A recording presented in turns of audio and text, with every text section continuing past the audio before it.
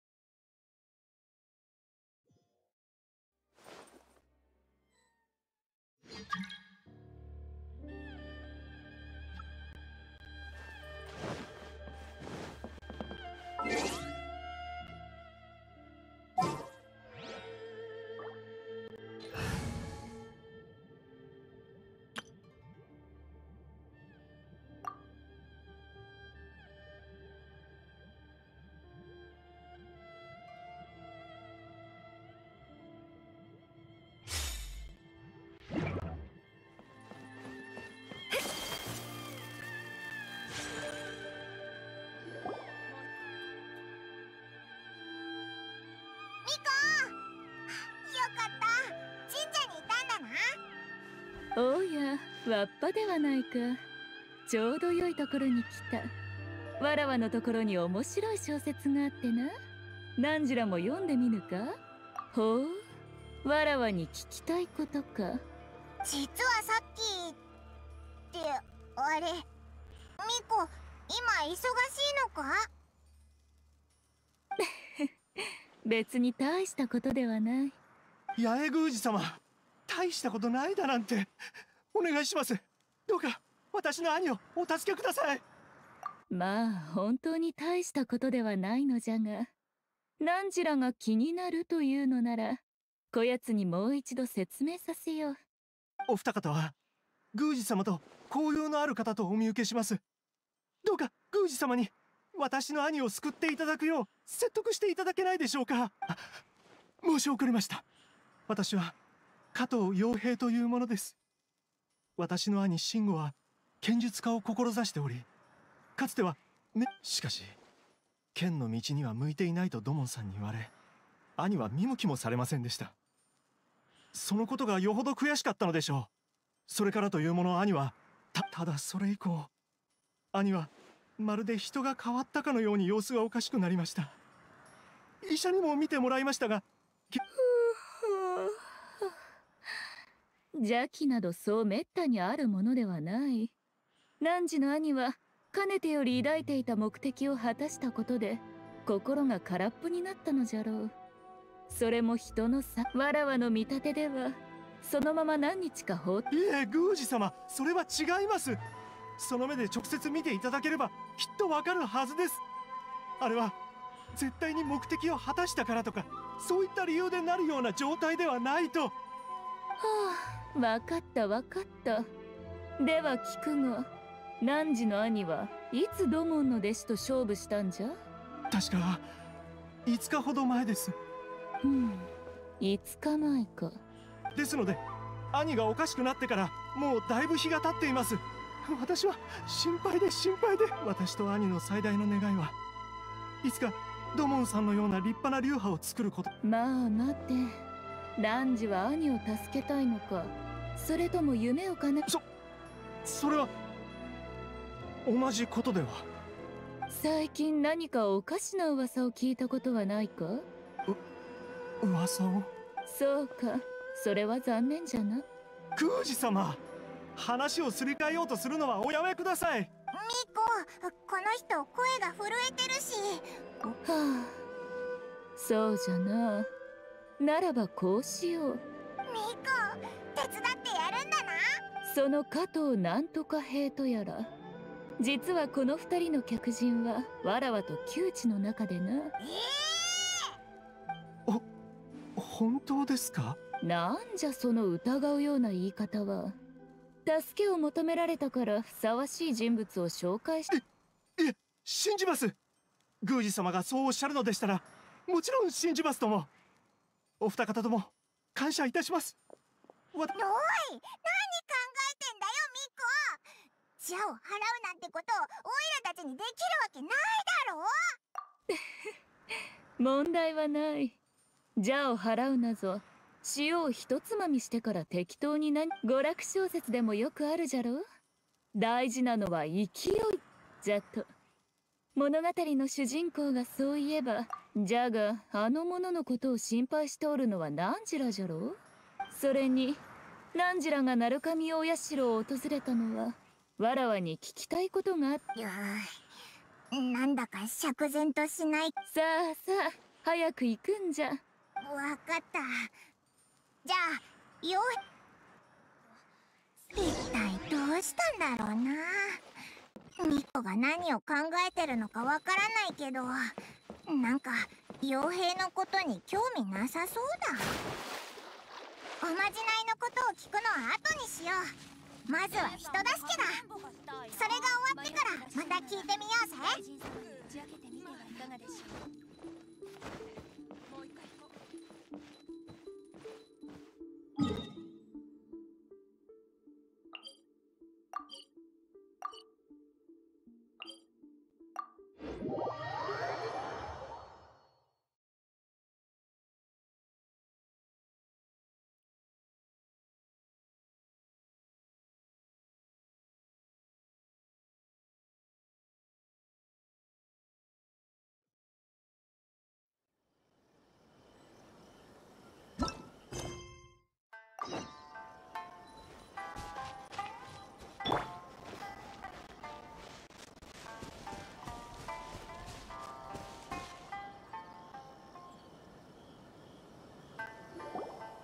これはどういうことでしょう？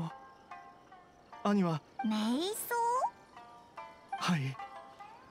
土門の弟子に勝った後いきなりそのような日課ができたのです。今はそんなことを言っている場合ではありませんでした。ふむ。それは確かに問題じゃなもし加藤なんとか兵よこうなっては仕方あるまい。まずは汝の兄を見つけてくるのじゃ。あわかりましたすぐに行ってまいります。ミ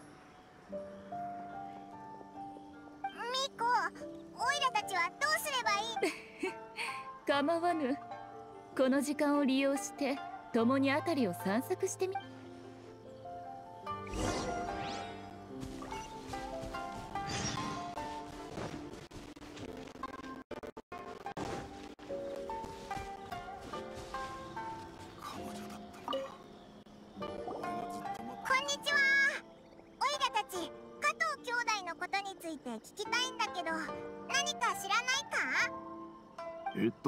借金の取り立てですか。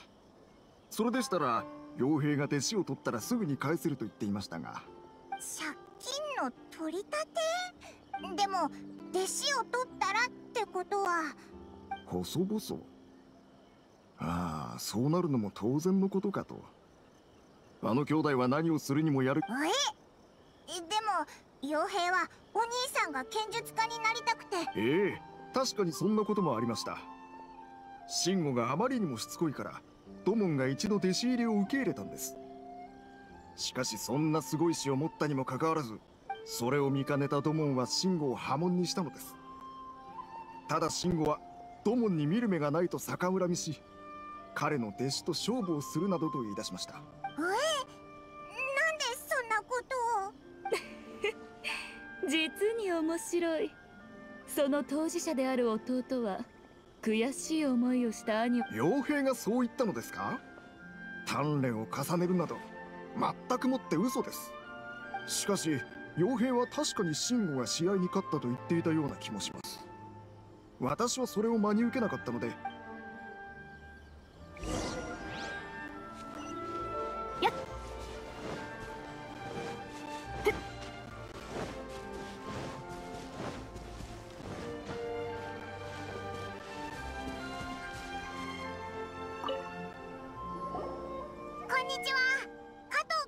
について何か知らないか？ん？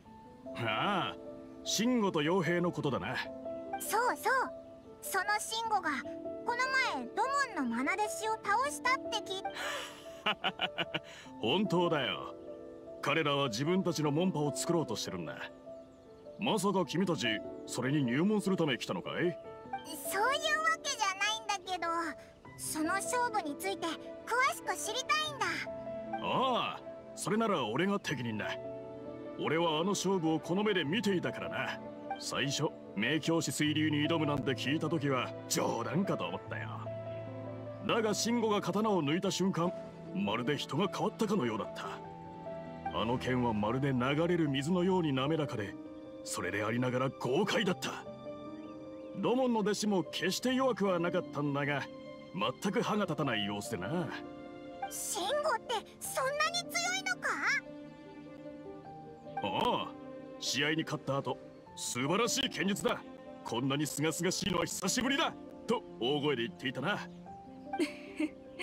他には何かないか？慎吾の性格が昔と比べ大きく変わったと聞いたが。前よりも勤勉になったかな。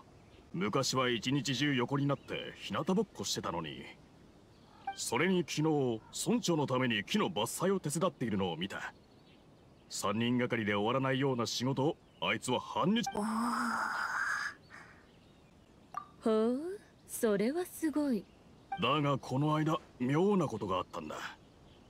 村長が豆腐を差し入れに持ってきたところ。なんだそれ俺に近づけるな！宮司様それにお二方とも。こ 兄を見つけました。滝の方にいますもっと面白い話を聞きたかったのじゃが見つかったのなら行くとするか。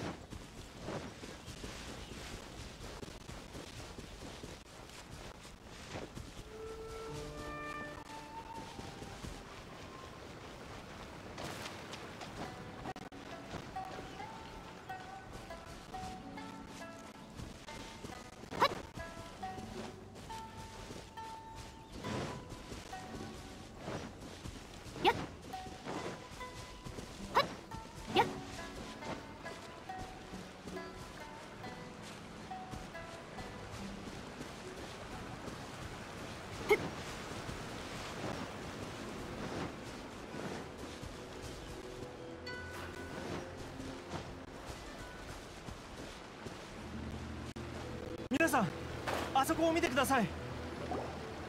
あれが傭兵のお兄さんか？おお滝に打たれながら瞑想するなんてすごくワイルドだな。おなんかブツブツ言ってるぞ。寒い どうだ？感じたか？感じるんだ。この男らしい気迫を。門派を設立するだと。実に浅はかなり。男たる者そのような志を持つなど。ばもう勘弁してください。お願いします。気迫も何ももう温度すら感じません。もうダメです。このままでは死んでしまいます。傭兵助けて助けてくれ。おい聞いたか？よくわからないけど。うん何やつ立ち上がった。こっちに来たぞ。来るな。助けてください。どうす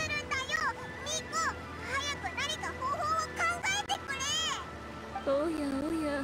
なんとも哀れじゃのう。傭兵。汝の兄はもう虫の息。最後の力を振り絞って汝に助けを求めておる。そそんなの私にはどうしたらいいのか。けわらわの目には慎吾は汝に大きな恨みを抱いておるよう見えるがこれは一体どういうことじゃ？知りません。私は何も知りません知らぬ。じゃと汝の兄がどうしてあのようになったのか。汝は誰よりも知っておるのではないか。傭兵。よう考えて話すことじゃ。これは生死に関わることじゃぞ。そそれは。最も身近なものの様子がかようにおかしくなればじゃがわらわに助けを求めに来たのはことが起きて5日も経った後。私は。そうか。本当のことを口にしたくないのならそじゃが慎吾が死した後は汝の番じゃぞ。たとえ地の果てまで逃げようともあやつは汝の背後につきまとうじゃろう。なぜならあれは汝らが呼び出したものなのじゃからな話します。何でも言います。私と兄はまじないで願い事をしたんです。そうです。最近巷で流行っているそれです。私と兄は本に書いてあった通り陣を書き真夜中に裸足でその中兄は剣術家になることを願いこれまでなかった剣の才能を手に入れました。しかし同時に性格まで変わってしまったのです。それは兄が元に戻ればしかしそれでは我々の流派を立ち上げるという計画が頓挫してしまいます。じゃあなんで鳴神大社に行った？兄があのような状態では何か触れてはならぬ禁術を使ったのではと噂が広までも宮司様であれば剣の才を残したまま兄を元に戻たわけがそれで丸く収まるとでも思うたか。そんなものは愚かな妄想に過ぎぬ。あやつが見せた剣の才ははい申し訳ございま。もうよい。さてここからは何時の出番じゃ？わっぱよ塩を巻いて剣を抜くがよい。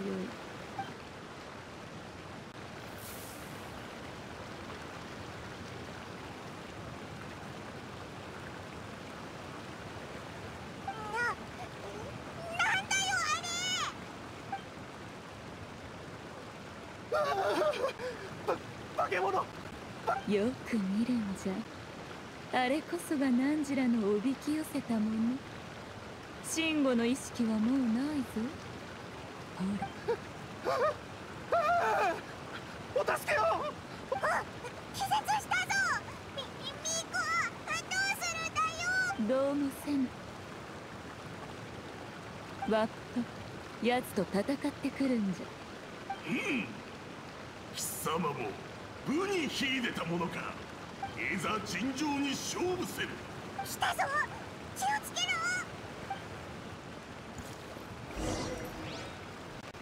大勢出たぞ。具現せよ。お触り禁止踊りなさい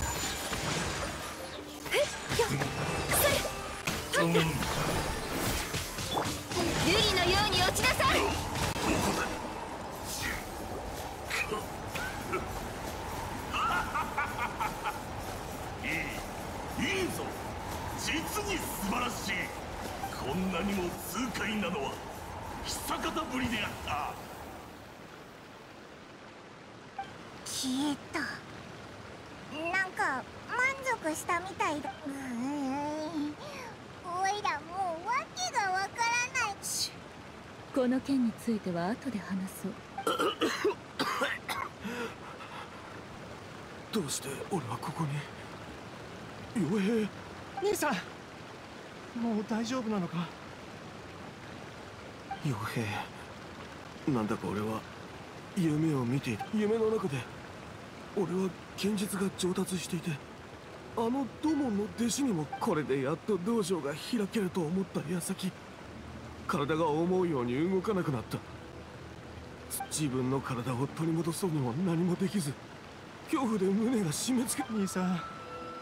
やっぱり願い事を叶えるために。その通りじゃ。わらわたちが手を貸していなければ汝は命を失っておったじゃろ。宮司様本当にありがとうございました。もうよい。兄を連れ帰り休ませてやれ。これから高熱が出るじゃろうが命に支障はない。いいか。これは代価じゃ。横島な方法で自らに属さぬ力を手に入れようとすればどのような結末が待っておるはい。承知しております。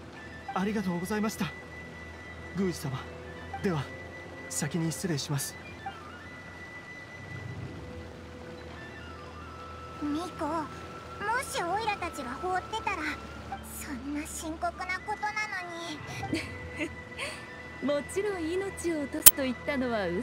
このくらい脅しておかねば怠け者のあやつらは改心しないじゃろうじゃああいつの体に取りこれまでの経験で汝らもあれに取り付いていたのがどんな例か分かっておるじゃろ？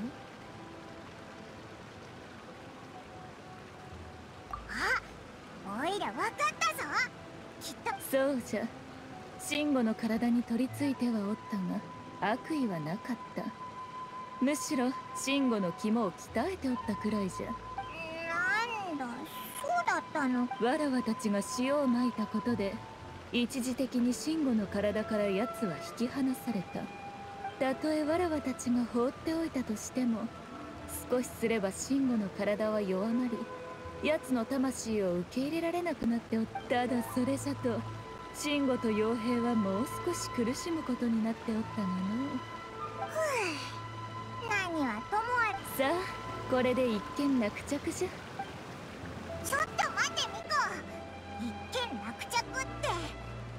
そうではないのか？ふむあやつらが使ったまじないの書かれた本のこと。実は今日そのことについて聞きたくてお前のところに来たんだ。人間はわらわたちあやかしのように法力があるわけではない。まじないやか。大事なところはそこじゃなくてそれに書かれ残念じゃが人間の力には限界があるたとえまじないを使って霊魂を呼んだ。だったらその本は誰が何のために書いたんだ？お前はどう思う？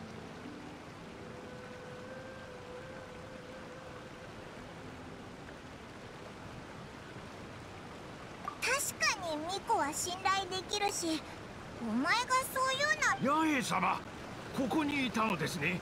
黒だどうしてここへ？今月の八重堂の売り上げを報告しに参りました。こちらが小説。どれどれ。何？売り上げ1位の座が奪われたじゃと？はい。総合売り上。げ読者が選ぶ一番好きな小説。流行番付。すべてあの新生鍛錬筆記に負けてしまいました。わっぱよ。こっちへ来い。どうしたんだ？そんな顔して神聖探霊筆記の人気が全体的に八重堂の小説を超えておる。これそんなこととは何じゃ。わらわが苦労し押してきた力作があの本に負けておるのじゃぞ。これは耐え難き問題。何か対策を考えねばならぬ。何時らも手伝え。え？なんで急にオイラたちに？パイモン。何時はさっき。この本は誰が書き？稲妻の人々の安否に関わることは何時らにとっても大事ではない。のすすごく筋は通ってるけどなんだこの違和感。気のせいじゃ何も間違ってなどおらぬ。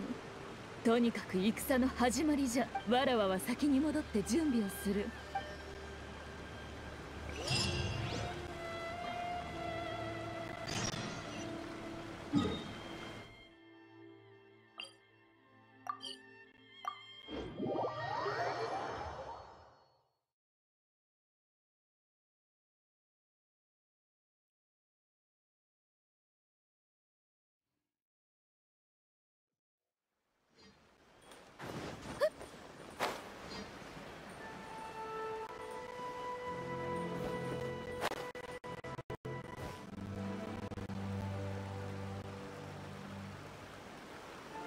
ミコ来たぞ。それでふむ。当ててみるがよい。解決の糸口は八重堂と関係。うーん。あわかった。八重堂の名前。ほう。まさかこんなにも早く。外れを言うとはの。え違う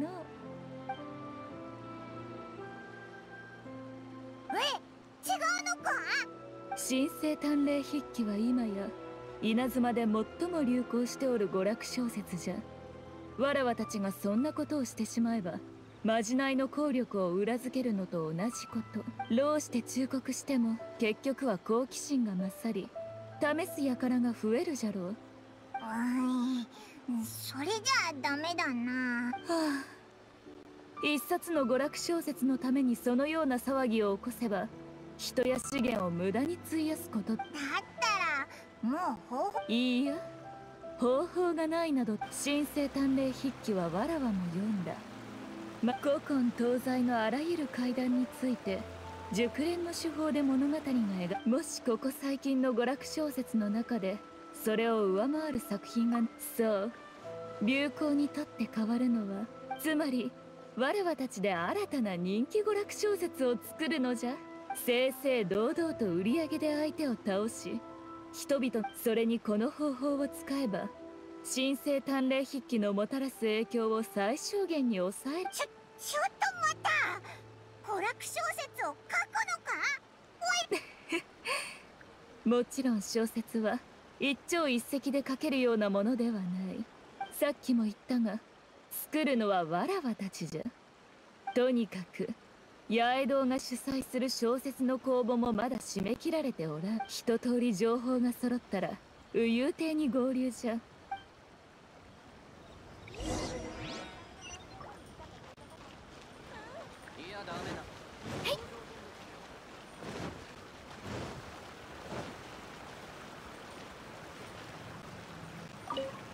僕は昔から娯楽小説を読むのが好きでね奇抜なはずただ近年の作品はどれも似たようなものばかりなんだ。中身最近だと神聖探霊筆記具話はもちろんのこと。描写がすごく細かいんだ。我々八重堂が主受賞作は多大な宣伝効果を得られ。俺に言わせれば娯楽小説に求める点はただ一言で表す。従来の物語だと主人公が言う今稲妻で流行っている神聖探霊筆記は最初物語の主人公は陽子で呪文や秘宝を熟知している。娯楽小説が売れるには挿絵も中挿絵を入れる場所その内容どの絵師にか挿絵が良ければ悪い点を補うことだってできるんだ。挿絵のために娯楽小説を買うという言葉だってあるほどだ。神聖鍛錬引きも挿絵がとても良かった。今までに見た